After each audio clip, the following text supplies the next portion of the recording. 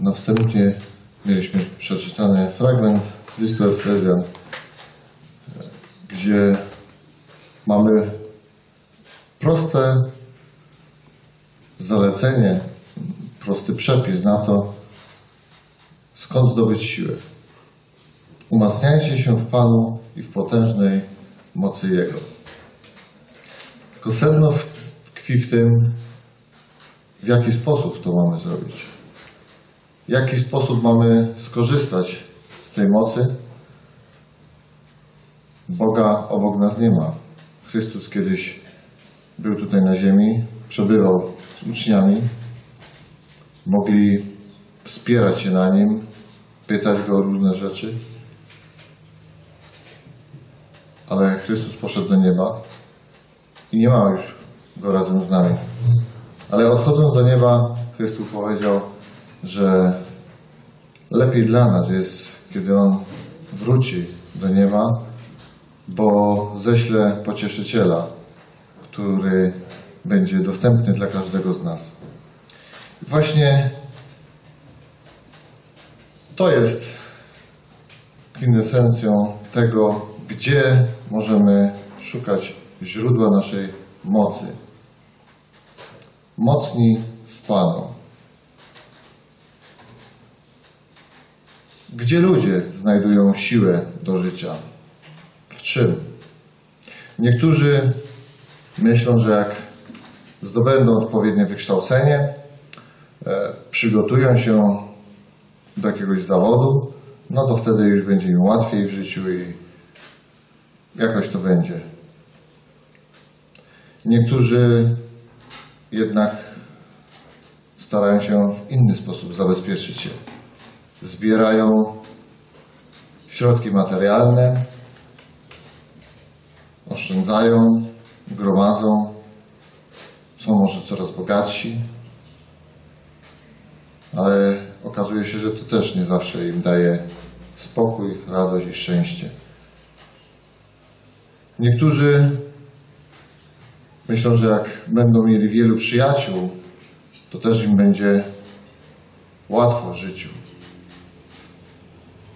Ale nie jest łatwo obecnie znaleźć przyjaciela takiego, który na dobre i na złe byłby przy nas zawsze.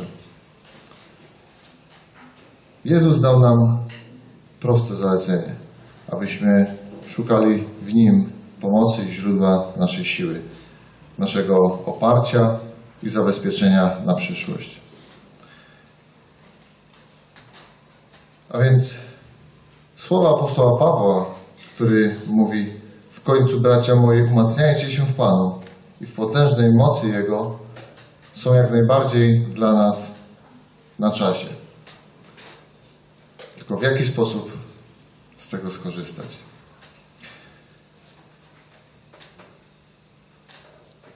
Paweł znalazł siłę w Jezusie Chrystusie, chociaż też nie był już tą osobą, która bezpośrednio z Nim przebywała tu na ziemi, ale jednak spotkał Jezusa Chrystusa w swoim życiu i dzięki temu spotkaniu jego życie odmieniło się. Na własnych doświadczeniach napisał wiele listów nam, między innymi właśnie te słowa, abyśmy umacniali się w potężnej sile naszego Boga. Ogrom zadań, jakie stoi przed nami, może niektórych z nas przerażać. Może wprawiać, że będziemy się bali, w zakłopotanie wprawiać. Ale jednak, jeżeli powierzymy nasze życie Bogu i będziemy wspólnie razem z Nim wiedli je, to wtedy wiele problemów zacznie się rozwiązywać. Znajdziemy siłę do przezwyciężania trudności i kłopotów. Nasz Pan obiecał nam ożywienie i pomoc, siłę i zwycięstwo do walki z grzechem. W dziejach apostolskich w pierwszym rozdziale i tam w wersecie ósmym czytamy właśnie obietnicę, która nas o tym zapewnia.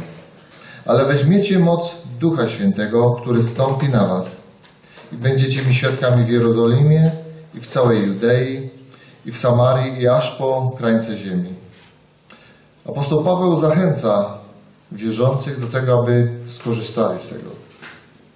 Aby w Bogu szukali źródła swojej siły.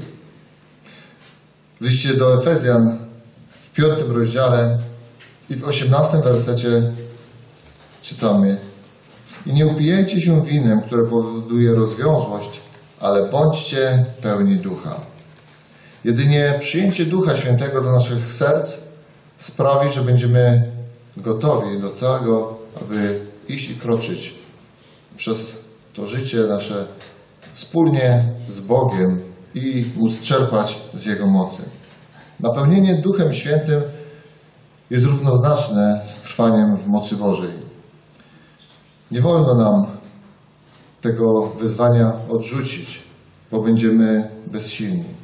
Będziemy próbować o własnych siłach rozwiązywać problemy, ale bardzo często, a nawet w większości wypadków, będzie to zakończone niepowodzeniem. Powstaje pytanie, w jaki sposób możemy dar Ducha Świętego otrzymać. Kiedy czytamy Pismo Święte, znajdujemy tam wiele odpowiedzi.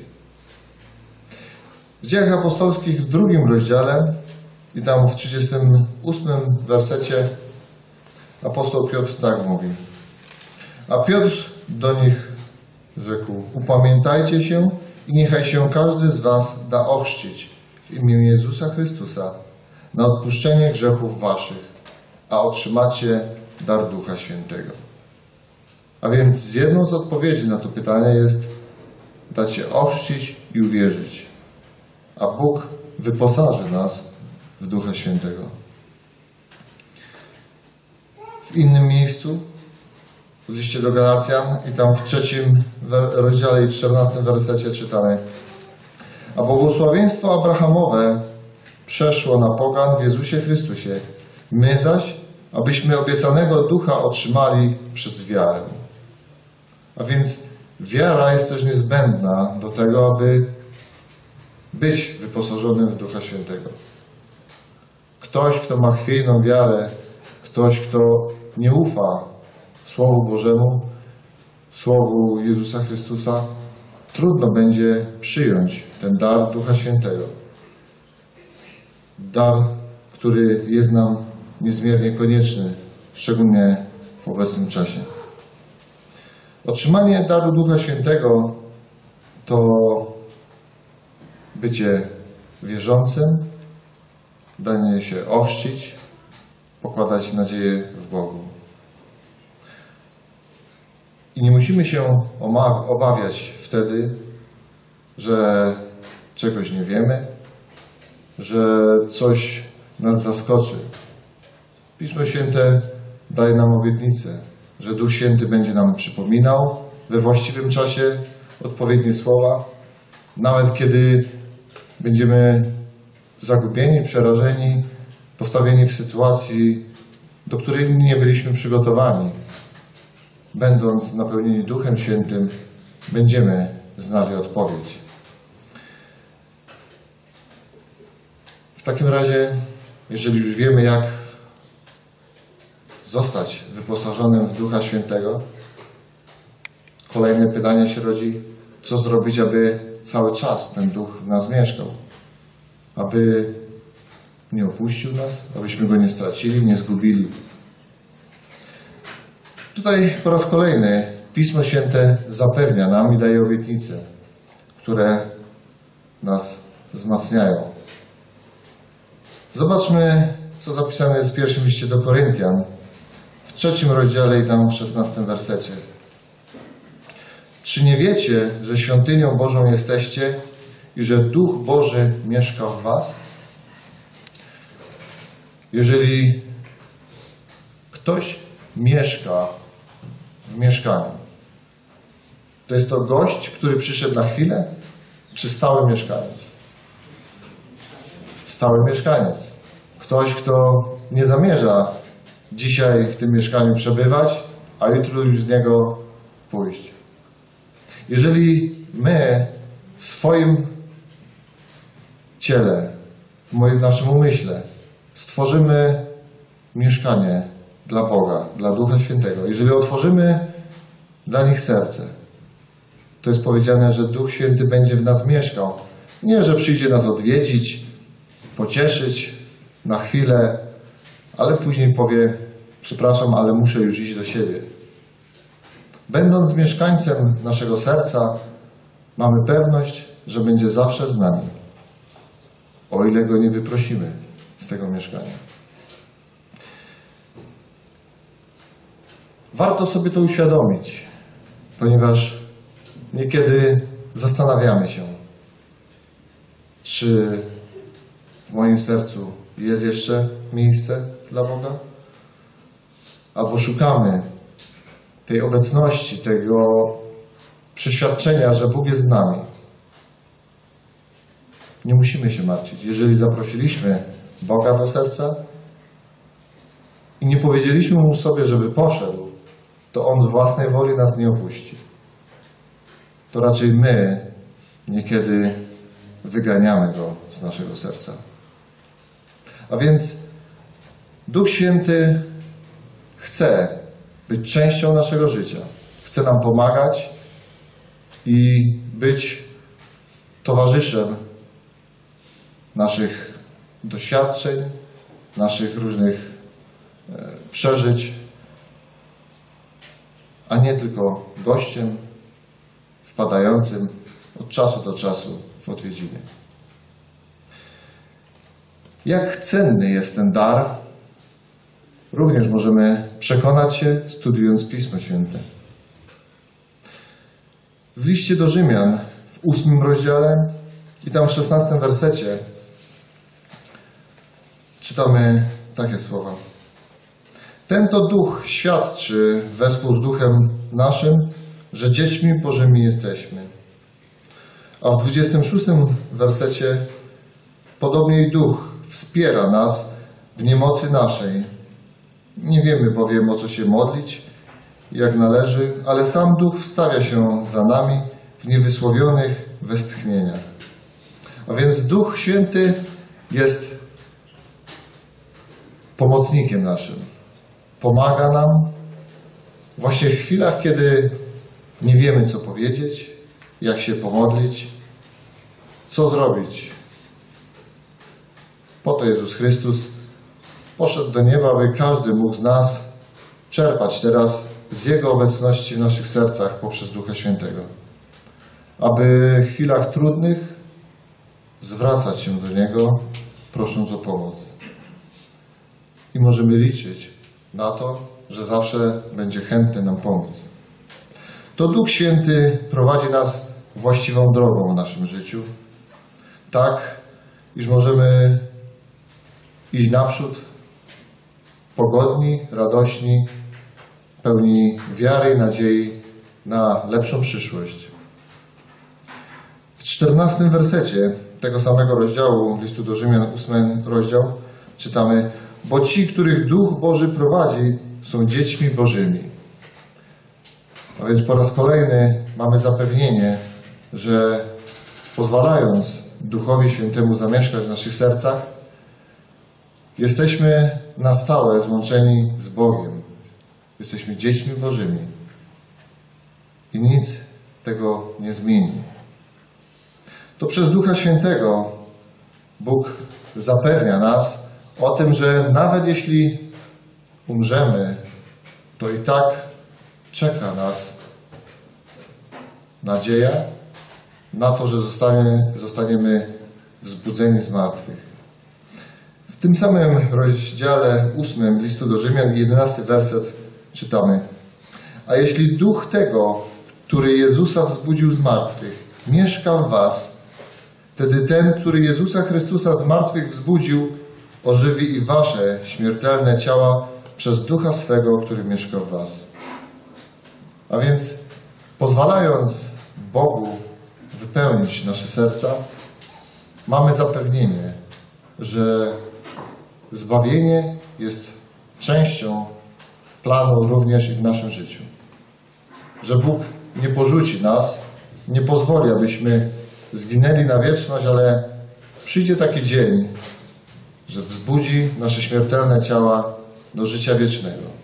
Tak jak i Jezus Chrystus wstał i uciekł śmierci. Otrzymując dar Ducha Świętego, również Biblia daje nam zapewnienie, że Duch Święty będzie pomagał nam w różnych rzeczach. W liście do Efezjan, w pierwszym rozdziale i tam w wierszach od 13 do 14 mamy zapewnienie, że Bóg poprzez Ducha Świętego, poprzez obecność w naszym życiu dokona w nas dzieła odkupienia. Będzie odmieniał nasze życie i sprawiał, że nasze życie będzie inne, nawrócone. Przeczytajmy te dwa wersety. W nim i wy, którzy usłyszeliście słowo prawdy, Ewangelię zbawienia waszego i uwierzyliście w niego, zostaliście zapieczętowani obiecanym Duchem Świętym, który jest rękojmią dziedzictwa naszego, aż nastąpi odkupienie własności Bożej ku uwielbieniu chwały Jego. Duch Święty jest rękojmią dziedzictwa naszego. Jest takim zapewnieniem, pieczęcią, która mówi: To jest mój syn, to jest moja córka. Bóg chce, abyśmy przyjęli ducha do naszych serc, aby poprzez to być obecnym w naszym życiu i nie tylko pomagać nam, prowadzić nas przez życie, ale też dawać nam tą pewność i wiarę, że nasze życie nie jest tutaj tylko chwilą na tym świecie, ale jest coś więcej. Coś, do czego tak naprawdę Bóg stworzył człowieka, aby żyć wspólnie razem z Nim. Duch Święty jest Bożym darem, pełnym mocy. Przeczytajmy teraz i spójrzmy na fragment zapisany jeszcze raz w liście do Rzymian. To, co już wcześniej też może wspominaliśmy. 26 werset 8 rozdziału. Podobnie i Duch wspiera nas w niemocy naszej. Nie wiemy bowiem o co się modlić, jak należy, ale sam Duch wstawia się za nami w niewysłowionych westchnieniach. Niekiedy mamy chwilę w naszym życiu, że stajemy przed sytuacjami, w których naprawdę nie wiemy, jak postąpić. Trudno jest podjąć właściwą decyzję, ale nawet wtedy, kiedy my sami nie wiemy, co zrobić, to Bóg poprzez Ducha Świętego i tak w nas działa. I tak pomaga nam, abyśmy wyszli na prostą, abyśmy podjęli właściwą decyzję. Apostoł Paweł, kiedy pisał do Tymoteusza, oświadczył: Nie dał nam Bóg ducha bojaźni, lecz mocy i miłości i powściągliwości. Duch, który zamieszkał w nas, kiedy przyjęliśmy Jezusa Chrystusa do serca, to nie ktoś, kto jest, bo jest, ale to duch pełen mocy, miłości, powściągliwości. Mając kogoś takiego przy boku, nie musimy się obawiać, że się nam coś nie uda, że się potkniemy, pomylimy, bo On zawsze jest po to, aby nam pomagać, aby służyć nam swoją mocą, swoją mądrością, abyśmy właściwą drogę mogli skręcić i abyśmy mogli kroczyć z Nim ku zbawieniu. Moc Boża jest dla nas dostępna zawsze i wszędzie, w każdej ilości. To od nas zależy, czy jesteśmy gotowi, aby korzystać z niej. Jeżeli otworzymy nasze serca na to, aby Bóg w pełni mógł w nich zamieszkać, aby nie był tylko gościem od czasu do czasu, to wierzę, że nasze życie będzie zupełnie inne niż wcześniej. Że to, co będziemy robić, choć nie zawsze będą to wielkie rzeczy, ale zawsze będą przepełnione mocą i miłością Bożą. Czy to będziemy rozmawiać z kimś, czy pocieszać kogoś, czy nawet wykonywać zwykłe obowiązki swoje w pracy, w domu. Ludzie, patrząc na nas, będą widzieć innych ludzi. Nie kogoś zwykłego, ale kogoś, w kim jest coś, co sprawia, że nie można przejść obok takiej osoby bez słowa zapytania, bez zaciekawienia. Ale to od nas zależy, czy chcemy takimi być. W drugim liście do Koryntian, w dwunastym rozdziale i tam wersy od 9 po 10, apostoł tak podsumowuje w pewien sposób swoje życie. Lecz powiedział do mnie, dość masz, gdy masz łaskę moją, albowiem pełnia mej mocy okazuje się w słabości. Najchętniej więc chlubić się będę słabościami, aby zamieszkała we mnie moc Chrystusowa. Dlatego mam upodobanie w słabościach, w zniewagach, w potrzebach, w prześladowaniach, w uciskach dla Chrystusa. Albowiem kiedy jestem słaby, wtedy jestem mocny. Wydawać by się mogło, że jest to przewrotne stwierdzenie. Jak możemy chcieć, aby było nam źle? Abyśmy byli znieważani w trudnościach.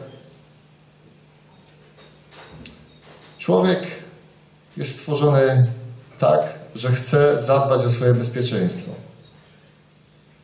Że chce, aby nic złego go nie spotkało. Ale apostoł mówi dokładnie o tym samym. Tylko, że z perspektywy więcej niż życia tego ziemskiego tutaj. Kiedy spojrzymy na nasze życie jako na coś, co może trwać dłużej niż tylko ta chwila na ziemi, to będziemy gotowi też w ten sposób powiedzieć. Bo w Jezusie Chrystusie jest nasza siła i nasze zwycięstwo. Chociaż tu na ziemi możemy doznawać pewnych trudności, prześladowań, to żyjemy nadzieją na coś znacznie większego. I nie chodzi o to, abyśmy byli osobami, które specjalnie się umartwiają, ale osobami, które są gotowe z mocą Bożą przezwyciężyć doświadczenia i trudności, które szatan stawia na naszej drodze. Zostaliśmy wyzwani, aby czerpać siły od samego Boga, a nie polegać na naszych ludzkich rozwiązaniach, na naszych ludzkich zasobach, tym, co sami jesteśmy w stanie sobie wypracować.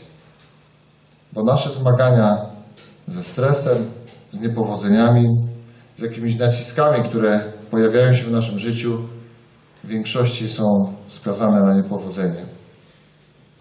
Ale mając w sercu Jezusa Chrystusa, mając miejsce dla Niego przygotowane na stałe, aby w nim mieszkał, pomimo różnych trudności i doświadczeń, mamy pokój w sercu i pewność, że kiedyś Bóg przyjdzie i obudzi nas ze snu śmierci, a być może żywo doczekamy Jego przyjścia, a wtedy wszystkie niedogodności, które pojawiają się w życiu każdego z nas tu na ziemi, znikną już na zawsze. Apostoł Paweł bardzo często, nawet Piotr, mówili z własnego doświadczenia. Po to mamy Biblię, aby z niej korzystać i wiele obietnic stosować w swoim życiu, abyśmy mogli się ich uchwycić. Wszystko mogę w tym, który mnie wzmacnia. Już dzisiaj też to czytaliśmy. Czy faktycznie wszystko? Zależy tylko od nas. W Pańskiej mocy możemy przezwyciężyć nasz strach, nasze obawy, wszystko to, co bez Boga będąc przerażałoby nas i sprawiało, że chcielibyśmy pozbyć się tego. Ale w mocy Bożej możemy to zwyciężyć wszystko. Jezus Chrystus pragnie obdarzyć nas swoją siłą. I nie tylko pragnie, ale czyni to. Pod warunkiem, że my na to pozwalamy, że zaufamy Mu i pójdziemy razem z Nim. Zaufanie w swoje własne siły często jest złudne. I często sprawia, że mylimy się, chociaż wydaje nam się, że jesteśmy zabezpieczeni ze wszech stron. W 1917 roku miasto Akaba, położone w Palestynie, było e, w rękach Turków i wydawało się im, że jest bezpieczne. Jest to miasto z jednej strony otoczone pustynią, a z drugiej strony usytuowane e,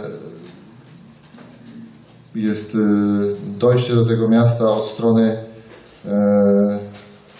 morza. Kiedy nieprzyjaciele, wrogowie chcieli zdobyć to miasto, najczęściej podpływali od strony morza. Turcy zabezpieczyli się, stawiając ponad miastem baterie wielu dział, które mogły ostrzelać zbliżające się okręty. I wydawało mi się, że zrobili wszystko, aby być bezpiecznymi i aby Akaba nigdy nie przeszła w ręce wroga. A jednak się mylili. 6 lipca 1917 roku Arabowie zaatakowali Akabę od północy, czyli od strony pustyni. Na koniach, wielbłądach przeszli przez pustynię i zaatakowali miasto i Akaba upadła z tym samym zakończyło się panowanie tureckie w Palestynie. Nad regionem kontrolę przejęli Brytyjczycy, a następnie państwo Izrael. Dlaczego Turcy nie obronili tego miasta? Ponieważ popełnili dwa błędy. Nie znali wroga i mieli niewłaściwą broń. Wydawało mi się, że te działa, które pilnują dostępu do miasta od strony morza, są wystarczające, bo z drugiej strony była wielka pustynia, przez którą nie w sposób było się przedostać. A jednak wróg wykorzystał ten słaby punkt. Tak również niekiedy może być w naszym życiu. Przygotowujemy się do odpierania różnych ataków własnymi siłami. I wydaje nam się, że zabezpieczyliśmy się z każdej strony, jesteśmy bezpieczni. Ale tak naprawdę nie znamy wroga dobrze, bo nie jesteśmy w stanie rozgryźć mądrości, jaką dysponuje szatan. A z drugiej strony, jeżeli nie wyposażymy się we właściwą obronę i właściwą broń, to też nie jesteśmy w stanie obronić się. A taką jedynym właściwym zabezpieczeniem jest właśnie poddanie się pod opiekę komuś, kto jest znacznie mądrzejszy niż nasz wróg. Przyjęcie Boga do naszego serca, Ducha Świętego, jest jedynym rozwiązaniem, które sprawi, że będziemy w stanie odeprzeć ataki szatana na nasze życie. Bo nie my, naszą mądrością jesteśmy w stanie tego dokonać, a jedynie Bóg swoją mądrością i swoją mocą, którą chce dać nam, abyśmy mogli z niej korzystać. Bój toczymy nie z krwią i z ciałem, lecz z nadziemskimi władzami, ze zwierzchnościami, z władcami tego świata ciemności, ze złymi duchami w okręgach niebieskich. Bój toczymy nie my, ale Bóg za nas. Jeżeli w taki sposób podejdziemy do tego, to obronimy się i nasze życie nie zniknie, ale nawet kiedy umrzemy, Duch, Duch Boży obudzi nas, kiedy Bóg przyjdzie wziąć nas do swego królestwa. Amen.